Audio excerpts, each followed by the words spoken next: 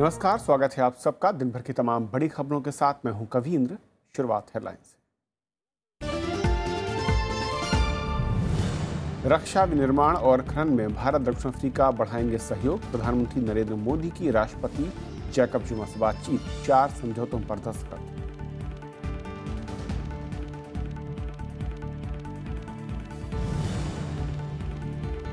महाराष्ट्र में मंत्रिमंडल का पहला विस्तार बीजेपी के छह और शिवसेना के दो मंत्रियों समेत दस नए चेहरे शपथ समारोह में नहीं पहुँचे उद्धव ठाकरे।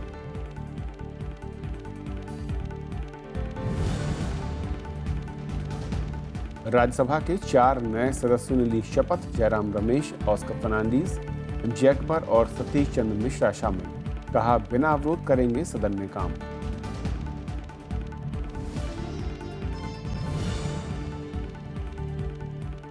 मणिपुर में डेढ़ हज़ार से ज़्यादा मुठभेड़ों पर सुप्रीम कोर्ट सख्त। केंद्र, राज्य सरकार और एनएचआरसी से मांगी रिपोर्ट, कहा सेना और अर्धसैनिक बल नहीं कर सकते बदले की कार्रवाई।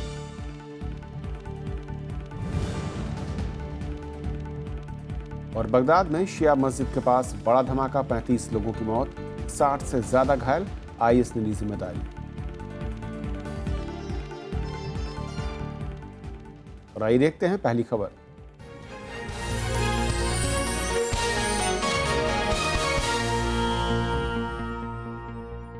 एकनाथ खड़से के महाराष्ट्र मंत्रिमंडल से बाहर होने के बाद मुख्यमंत्री देवेंद्र फडणवीस ने आज कैबिनेट का विस्तार किया। मंत्रिमंडल में 10 नए चेहरों को शामिल किया गया है। इनमें आठ बीजेपी से और दो सहयोगी शिवसेना से हैं। बीजेपी के एक राज्य मंत्री को कैबिनेट मंत्री बनाया गया है। हालाँकि शिवसेना प्रमुख उद्धव ठाकरे शपथ ग्रहण समारोह में नहीं पहुँचे। राजभवन में राज्यपाल सी विद्यासागर राव ने नए मंत्रियों को पद और गोपनीयता की शपथ दिलाई। छह विधायकों ने कैबिनेट मंत्री के तौर पर शपथ ली है। इनमें राज्य मंत्री रहे बीजेपी के राम शंकर शिंदे के अलावा पांडुरंग फुंडकर जयकुमार रावल, संभाजी पाटिल निलंगेकर और सुभाष देशमुख शामिल हैं। वहीं सहयोगी राष्ट्रीय समाज पार्टी के महादेव जानकर को भी कैबिनेट मंत्री बनाया गया है। मैंने जो काम किया तो आज उन्होंने सर्टिफिकेट दे के मुझे वो कैबिनेट बर्थ दिया है। निश्चित तौर पे जैसा पिछले सालों में काम किया उससे भी ज़्यादा आने वाले साल दिनों में करूँगा। वहीं बीजेपी के रविंद्र चौहान मदन येरावर शिवसेना के अर्जुन खोतकर गुलाब राव पाटिल और स्वाभिमानी पार्टी के सदाभाऊ खोट ने राज्य मंत्री के तौर पर शपथ ली। मैं आने वाले कल में भारतीय जनता पार्टी के माध्यम से इस सरकार के माध्यम से पूरे महाराष्ट्र में बहुत अच्छी तरह से मेरे खाते में काम करने का मैं पूरा प्रयास करूँगा। शिवसेना ने एक कैबिनेट मंत्री बनाने की मांग की थी। इसे लेकर पार्टी नेताओं ने मुख्यमंत्री देवेंद्र फडणवीस से मुलाकात भी की थी। लेकिन बीजेपी ने इसे नहीं माना। पिछले दिनों केंद्रीय कैबिनेट के विस्तार पर शिवसेना ने इसे एनडीए की जगह बीजेपी का विस्तार बताया था। हालाँकि उद्धव ठाकरे ने मतभेदों की खबरों से इनकार किया है। हम सरकार चलाना चाहते हैं पाँच साल और इसीलिए जो हमें मान सम्मान पूर्वक मिलेगा वही हम करेंगे। ज़ोर ज़बरदस्ती से कुछ भी नहीं होगा। कांग्रेस ने भी शपथ ग्रहण समारोह का बहिष्कार किया। राज्य इकाई के अध्यक्ष अशोक चौहान ने कहा कि इससे महाराष्ट्र का कोई फ़ायदा नहीं होगा। वहीं एनसीपी ने भ्रष्ट मंत्रियों को मंत्रिमंडल में लेने का आरोप लगाया है। महाराष्ट्र के मंत्रिमंडल का विस्तार हुआ। पहले से ही दस भ्रष्ट मंत्री मंत्रिमंडल में थे। चार नए भ्रष्ट मंत्रियों का समावेश किया गया है। पिछले महीने ज़मीन घोटाले के आरोप में एकनाथ खड़से को मंत्रिमंडल से हटाया गया था। खड़से के पास कई अहम विभाग थे। इसके बाद मंत्रिमंडल का विस्तार ज़रूरी हो गया था। Bureau report, Rajya Sabha TV. और इस विस्तार पर बातचीत करने के लिए हमारे साथ चीफ ऑफ़ न्यूज़ ब्यूरो साकार ग्रुप से अनंत बकैतकर साहब। अनंत जी, स्वागत है आपका। अनंत, आपकी नज़र में ये विस्तार किस तरीके का दिख रहा है? क्योंकि जिस तरीके की ज़रूरत थी और जो आरोप लग रहे थे खड़से के बाद, कहा जा रहा था क्लीन इमेज हो सकती है क्योंकि कुछ इस तरह से पार्टी के निर्देश हैं लेकिन विपक्ष आरोप लगा रहा है कि चार मंत्री ऐसे हैं जो टेंटेड हैं। हाँ टेंटेड है। एक जो फुंडकर जो पांडुरंग फुंडकर जो मंत्री हैं उनको राज्य सहकारी बैंक जो हैं उसमें एक जो घोटाला है उसमें उनका काफ़ी नाम है और भी दो तीन है। तो ऐसा है कि कहीं ना कहीं किसी का कुछ ना कुछ तो होता ही रहता है। लेकिन ये जो गठबंधन है या जिस तरह से आज जो विस्तार हुआ है तो जैसे कि हमने यहाँ केंद्र में देखा कि अलाइज को साथ में लेके चलने के लिए और आगे चल के कुछ गड़बड़ न हो इसलिए क्योंकि इसमें जो अलाइज लिए गए हैं फिर भी एक अलाइज जो है मिस्टर विनायक मेटे जो शिव संग्राम पार्टी से एक छोटी सी दे आर एक, वो एक्चुअली मराठा आरक्षण के लिए बहुत बड़ा आंदोलन उन्होंने खड़ा किया खड़ा था, किया था लेकिन अब वो बीजेपी ने वैसे उनको आश्वासन दिया था और अपने साथ लिया था हम्म। तो उनको तो उन्होंने लिया नहीं उन्होंने तो ये धमकी दी है कि मैं उनको विधान परिषद में लिया है कि मैं अब वो सदस्यता की शपथ भी ग्रहण नहीं, नहीं लूँगा हम्म। और जो साथी उनके एक हैं उनको भी इस्तीफ़ा देने के लिए कहूँगा वगैरह हम्म। वगैरह तो इस तरह से इन्होंने जो अलाइज हैं जो एक जानकर करके हैं और ये जो सदु भाऊ खोत हैं हम्म। उनको साथ में लिया है जैसे केंद्र में रामदास अठौले को बीजेपी ने लिया है हम्म, हम्म। तो इस तरह से अलाइज को थोड़ा सा गुड ह्यूमर में रखना एक तरह से शिवसेना जिस तरह से बीजेपी के साथ उनका जिस तरह से रवैया है तो उसको भी कहीं ना कहीं बैलेंस या न्यूट्रलाइज करने की कोशिश इसमें आ, क्या यही यही माना जाए कि शिवसेना को वहाँ पर न्यूट्रलाइज करने के लिए जो नए सहयोगी मैं कहूँ जो छोटे सहयोगी ज़रूर हैं ये बहुत छोटे हैं। उनको अपनी तरफ़ मिलाने की कोशिश है और ऐसे संकेत देने की कोशिश है कि शिवसेना अब उस तरह से बार्गेन नहीं कर सकती जो कि पहले करती थी। देखिए शिवसेना बार्गेन नहीं कर सकती। अगर वो बार्गेन की पोजीशन में होती हम्म। तो यहाँ तक मामला नहीं आता। नौबत नहीं आती।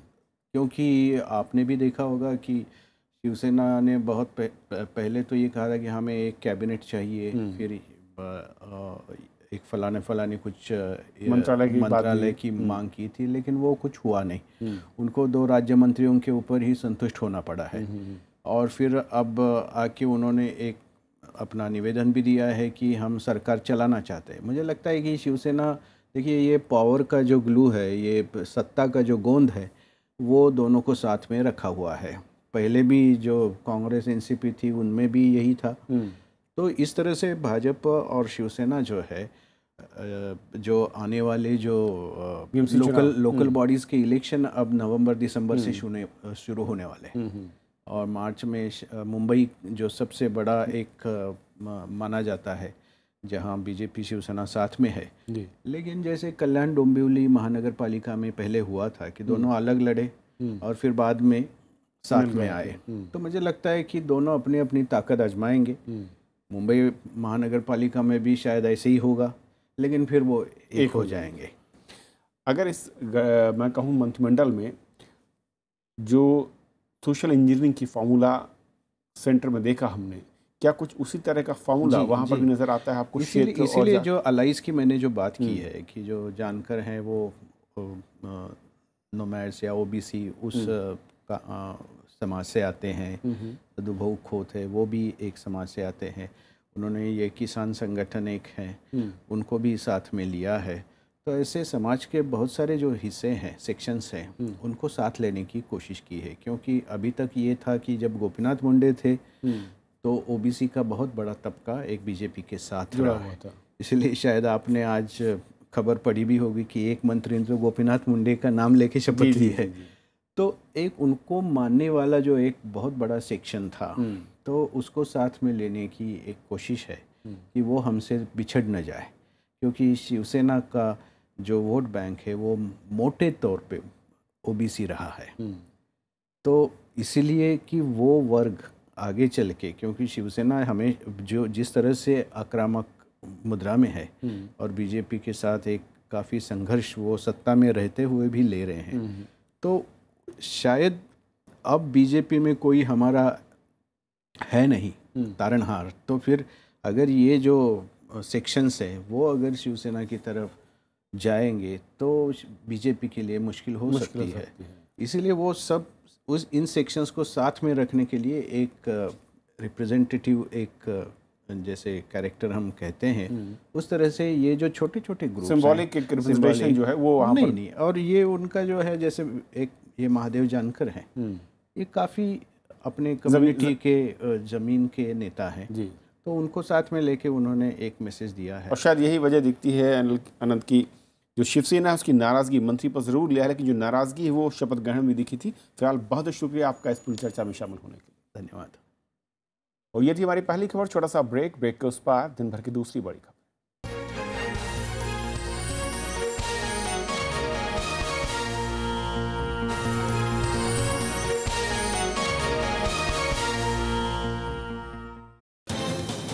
आज हमारे खास मेहमान हैं नीति आयोग के वाइस चेयरमैन अरविंद पनगढ़िया साहब।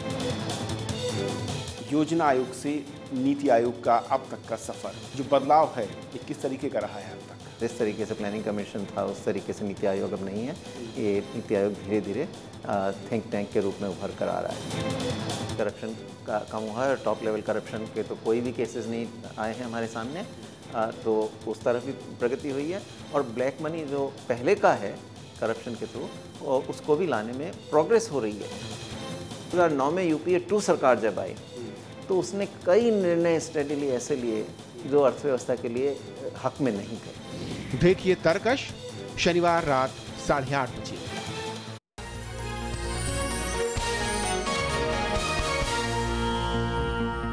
भारत और दक्षिण अफ्रीका पारंपरिक संबंधों को नई ऊंचाइयों पर ले जाने के लिए साथ ही साथ रक्षा उत्पादन, विनिर्माण और खनन जैसे क्षेत्रों में अपनी साझेदारी को बढ़ाएँगे। प्रधानमंत्री नरेंद्र मोदी की आज राष्ट्रपति जैकब जुमा से मुलाकात में इस पर सहमति बनी और इस मौके पर दोनों देशों के बीच चार समझौतों पर दस्तखत किए गए। दोनों देश आतंकवाद के खिलाफ लड़ाई और अंतर्राष्ट्रीय मुद्दों पर मिलकर काम करने के लिए भी तैयार हैं।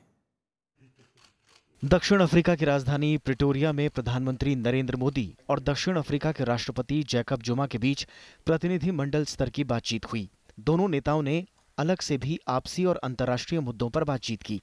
इसके बाद दोनों देशों के बीच चार समझौतों पर हस्ताक्षर हुए। ये समझौते सूचना तकनीक, कला, संस्कृति, पर्यटन और विज्ञान के क्षेत्र से जुड़े हैं। दोनों देश मेक इन इंडिया के तहत रक्षा उपकरणों के उत्पादन पर भी सहमत हुए हैं। Beyond economic ties and links of businesses, trade and investment, we can also partner in the field of defense and security. रक्षा उपकरणों के निर्माण में दक्षिण अफ्रीका को काफ़ी महारत हासिल है राष्ट्रपति जैकब जुमा ने कहा कि वो भारत के साथ कई दूसरे क्षेत्रों में व्यापार के इच्छुक हैं और उनका देश संयुक्त राष्ट्र सुरक्षा परिषद विस्तार समेत अंतर्राष्ट्रीय मंचों पर भारत के साथ मिलकर काम करने के लिए तैयार है We continue to work closely with India on the reform of the United Nations and its organs, specifically the Security Council, as well as the international financial institutions.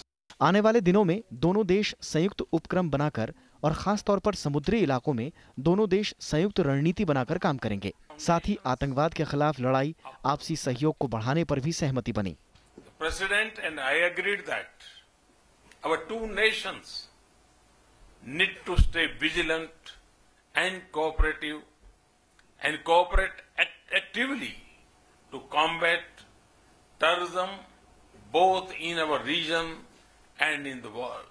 दोनों नेताओं ने भारत और दक्षिण अफ्रीका के कारोबारियों के सम्मेलन में भी शिरकत की इससे पहले शुक्रवार को प्रधानमंत्री नरेंद्र मोदी का प्रिटोरिया पहुँचने पर गर्मजोशी से स्वागत हुआ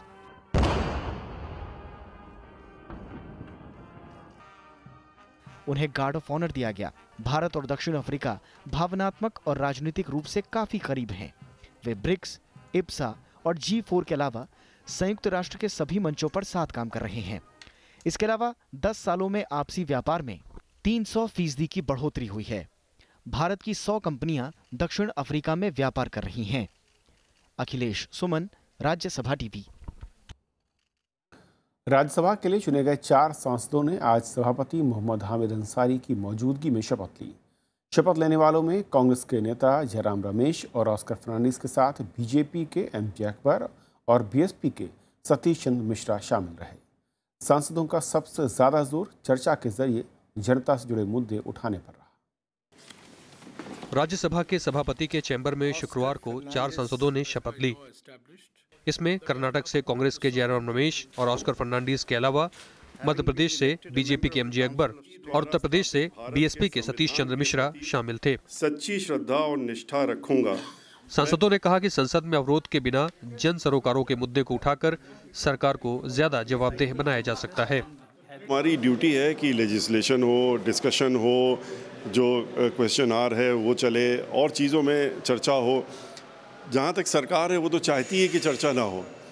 जो अदर और सांसद हैं या अपोजिशन है, उनकी ज़िम्मेदारी बनती है कि वो सांसद को हर तरीके से कोशिश करें कि चले। बात रखें, अपने क्षेत्र की बात रखें, देश की बात रखें, और जिस लिए यहाँ पर हमको भेजा गया है, उसको पूरा करने का काम। लोगों का मुद्दा पार्लियामेंट में कैसा? पार्लियामेंट तक, सरकार तक पहुँचाएँगे आवाज़ उठाएँगे तो तब भी पहुँचाएँगे सो ये आप डिस्ट्रप्शन बोलना और आवाज़ उठाना बोलना में फ़र्क है। सो लोगों का आवाज़ सरकार तक पार्लियामेंट तक पहुंचाना है हाउस में उठाना है। शुक्रवार को विभिन्न दलों के 19 सांसदों के शपथ ग्रहण का कार्यक्रम रखा गया था। हाल में हुए राज्यसभा चुनाव में सत्तावन सांसद चुने गए थे। इनमें से तीन सांसद निर्विरोध चुने गए, जबकि 27 के लिए चुनाव किए गए थे। राज्यसभा में हर दो साल में एक तिहाई सदस्यों का छह साल का कार्यकाल खत्म होता है और उतनी ही सीटों के लिए चुनाव होते हैं। Panchanand Mishra, Rajya Sabha TV. Supreme court ने दिल्ली की आम आदमी पार्टी सरकार की याचिका खारिज कर दी है, जिसमें केंद्र और दिल्ली के बीच अधिकार स्पष्ट करने की अपील की गई थी। शीर्ष अदालत ने कहा है कि दिल्ली हाई कोर्ट को पहले यह तय कर देना चाहिए कि ये मामला उसके अधिकार क्षेत्र में है या नहीं। जस्टिस दीपक मिश्रा और यू ललित की खंडपीठ ने कहा है कि हाई कोर्ट ने सुनवाई पूरी कर फैसला सुरक्षित रख लिया है फैसला आने के बाद दिल्ली सरकार शीर्ष अदालत आ सकती है। जब खुद आम आदमी पार्टी हाई कोर्ट गई तो सुप्रीम कोर्ट क्या उनको हाई कोर्ट पर विश्वास नहीं है? इस रूप से क्यों किया जा रहा है कि एक आप हाई कोर्ट में जाने के बाद वहाँ जब मैटर सुना जा रहा है तो आप ज़बरदस्ती एक सुप्रीम कोर्ट में एक किस्म से एक नए पिटिशन को डालने के प्रयास कर रहे हैं। और जो सुप्रीम कोर्ट ने कहा तो उनको रिलीफ कहाँ मिला? उनका डिस्पोज ऑफ़ हो गया है। सुप्रीम कोर्ट ने कोई झटका वटका नहीं दिया। उन्होंने स्पष्ट किया कि आपको बिल्कुल परेशान होने की आवश्यकता नहीं है। जितने भी विवादित विषय हैं जो इस केस में कवर हो रहे हैं, उन सब पे हाईकोर्ट फैसला सुनाने में सक्षम है। केंद्र सरकार धार्मिक प्रचारक जाकर नाइक के भाषणों की जाँच कर रहा है। गृहमंत्री राजनाथ सिंह ने आज इसका ऐलान किया। उन्होंने बताया कि आतंकवाद से किसी भी तरह का समझौता नहीं किया जाएगा। मीडिया में खबरें आई हैं कि ढाका कैफ़े का एक हमलावर जाकिर के भाषणों से प्रभावित था। महाराष्ट्र सरकार ने भी कल नाइक के भाषणों की जाँच के आदेश दिए थे। बीजेपी और कांग्रेस ने नाइक के खिलाफ कार्रवाई की मांग की है। जाकिर नाइक की पेशेस का हम लोगों ने कागरेजेंस लिया है और इस संबंध में आवश्यक निर्देश जारी किए गए हैं। उनकी स्पीचेज और उनकी जो सीडीज़ हैं उनकी स्पीचेज को प्रॉपरली एग्जामिन किया जा रहा है। जो जस्टिफाइड होगा वह किया जाएगा। और इतना मैं आश्वस्त करना चाहता हूँ कि जहाँ तक भारत सरकार का प्रश्न है टेररिज्म से किसी भी सूरत में हम लोग कम्प्रोमाइज़ नहीं करेंगे। सुप्रीम कोर्ट ने कहा है कि सेना और पैरामिलिट्री फोर्स अत्यधिक बल का इस्तेमाल नहीं कर सकते हैं। कोर्ट ने मणिपुर में कथित तौर पर हुई 1528 फर्जी मुठभेड़ों पर सुनवाई के दौरान ये बात कही। अदालत ने इन मुठभेड़ों पर जानकारी भी मांगी है ताकि आगे की कार्रवाई का खाका तैयार किया जा सके। कोर्ट ने कहा कि इन आरोपों की जाँच सेना खुद भी कर सकती है। शीर्ष अदालत, राष्ट्रीय मानवाधिकार आयोग के इस दावे की जाँच भी करेगा कि वो कागज़ी शेर है और उसे और अधिकारों की ज़रूरत है।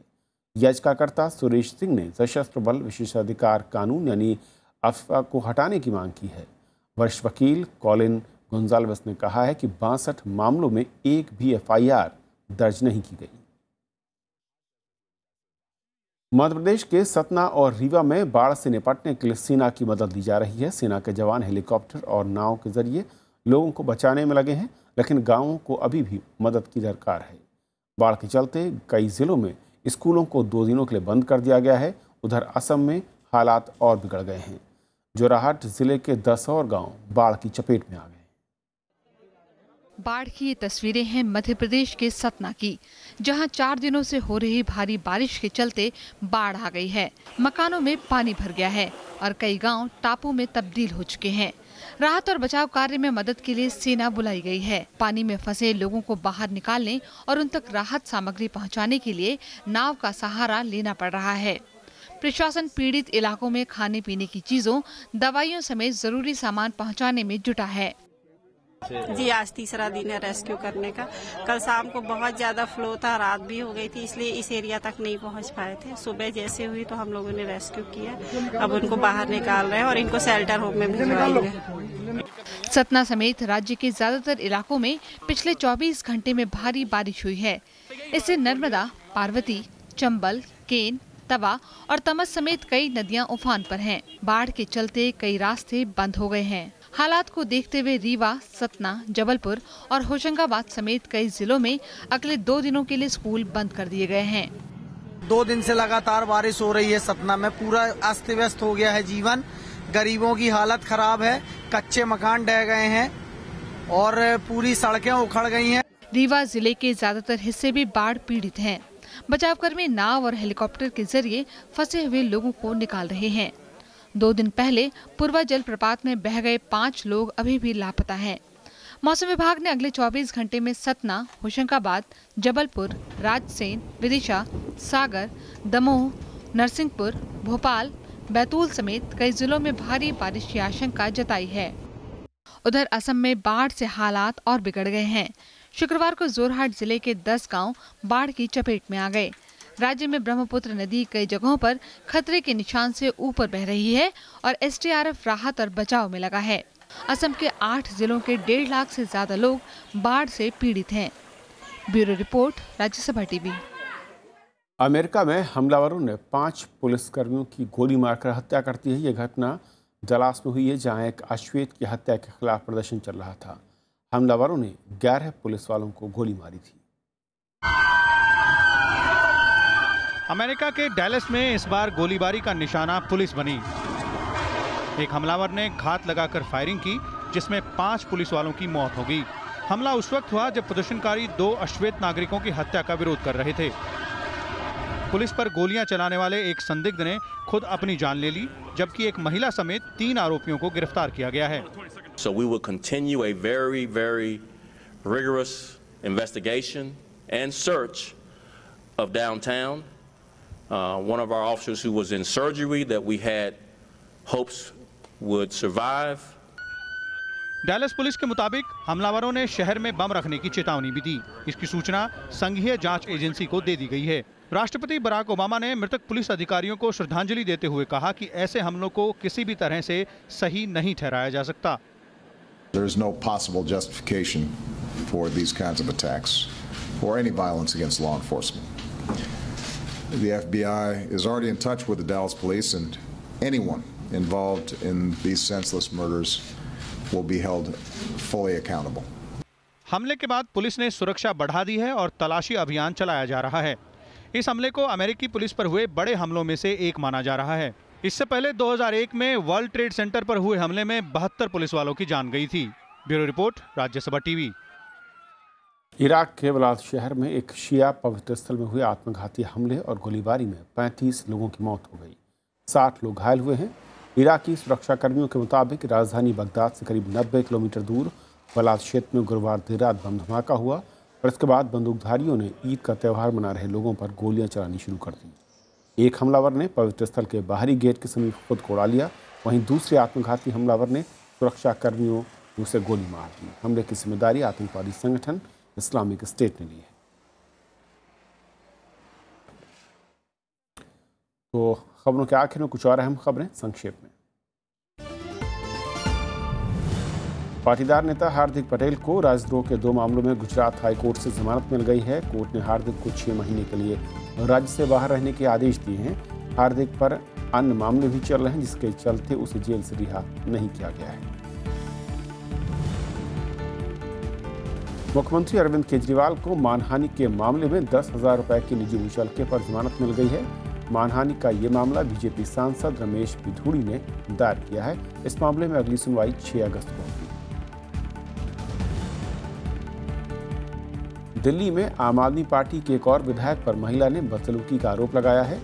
देवली से विधायक प्रकाश जारवाल पर ये आरोप लगे हैं। वहीं विधायक के खिलाफ धारा तीन सौ चौवन, पाँच सौ सौ नौ और चौंतीस के तहत मामला दर्ज किया गया। गृहमंत्री राजनाथ सिंह ने गुरुवार को मादक पदार्थों के खिलाफ ब्रिक्स देशों के कार्यक्रम का उद्घाटन किया। गृहमंत्री ने सभी देशों से नशे के खिलाफ मिलकर लड़ने की अपील की है। कर्नाटक सरकार ने डिप्टी एसपी आत्महत्या मामले की सीआईडी जाँच के आदेश दिए हैं। इससे पहले बीजेपी ने इस मामले को लेकर प्रदर्शन किया। डिप्टी एसपी गणपति ने अपहरण के आरोप के बाद आत्महत्या कर ली सुरक्षा बलों ने छत्तीसगढ़ के सुकमा से आठ नक्सलियों को गिरफ़्तार किया है। सीआरपीएफ ने नक्सलियों के पास से नकदी और गोला बारूद बरामद किया है। भारत के तीन साइकिल रेसर दुनिया की सबसे पुरानी और प्रसिद्ध साइकिल रेस में हिस्सा लेंगे माउंटेन बाइकिंग के नाम से मशहूर द बाइक ट्रांस एल्प में करीब 40 देशों के साइकिलिस्ट हिस्सा लेंगे। ये प्रतियोगिता ये प्रतियोगिता ऑस्ट्रिया में 17 जुलाई से शुरू हो रही है। केरल सरकार ने राज्य में 14.5 की दर से फैट टैक्स लागू कर दिया। ये टैक्स पिज्जा बर्गर जैसे जंक फ़ूड उत्पादों पर लगेगा। इसके अलावा सरकार ने 10 साल से ज़्यादा पुराने वाहनों पर ग्रीन टैक्स भी लगाया है। सऊदी अरब में मदीना मस्जिद में हुए धमाकों की जाँच कर रही पुलिस ने 19 लोगों को हिरासत में लिया है। इनमें से 12 लोग पाकिस्तान के हैं। इन बम धमाकों में चार पुलिसकर्मी मारे गए थे।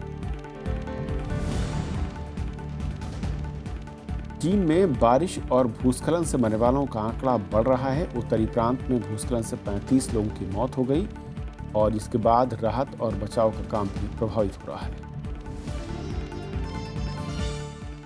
तो इस बुलेटिन में फ़िलहाल इतना ही। नमस्कार।